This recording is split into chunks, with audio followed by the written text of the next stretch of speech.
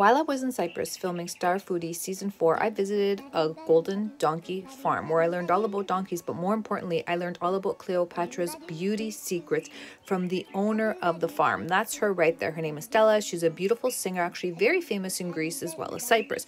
So she taught me that, as legend has it, Cleopatra actually used to bathe in donkey milk. Here is the gist on donkey milk. It is rich in lactic acid. It's very gentle yet very powerful. It contains essential fatty acids and amino acids that are very good for cell construction. It nourishes and protects the skin against aging. Now, here is something really key.